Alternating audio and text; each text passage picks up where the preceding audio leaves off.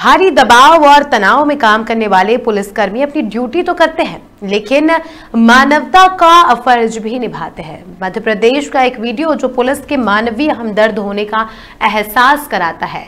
इससे पुलिस के प्रति लोगों का भरोसा और सम्मान भी बढ़ता है। बता दें मध्य प्रदेश के ग्वालियर में एक व्यक्ति को सड़क पर हार्ट अटैक आ गया। उस दौरान जब महिला सब इंस्पेक्टर ने उसे देखा तो तुरंत मौके पर पहुंचकर उसे सीपीआर दिया गया, जिसे उसे राहत मिल गई। इसके बाद डायल हंड्रेड की मदद से तत्काल मरीज़ को अस्पताल में भर्ती कराया गया, जहाँ उसका इलाज किया जा रहा है। इसके बाद महिला सब इंस्पेक्टर की लोगों ने खूब तारीफ़ की। इस घटना का वीडियो भी सामने आया है, जो कि सोशल मीडिया पर जमकर वायरल हो रहा है। इस पूरी घटना को लेकर सीएम शिवराज सिंह चौहान ने भी महिला सब इंस्पेक्टर की सराहना की। उन्होंने ट्विटर के माध्यम से कहा कि मानवता की सेवा ही सबसे बड़ी सेवा है।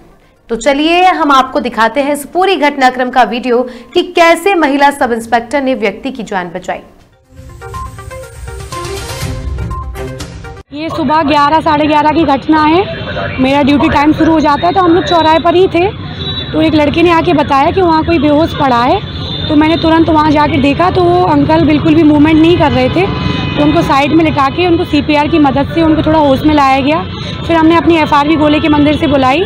और उनको हम अपोलो हॉस्पिटल में एडमिट करवाया। यहाँ डॉक्टर ने बोला कि अभी खतरे से बाहर है। और मदद करना बिल्कुल बिल्कुल। उनको बताया इनको हाई ब्लड प्रेशर की दिक्कत थी तो इसलिए शायद उनको कुछ दिक्कत हुई होगी।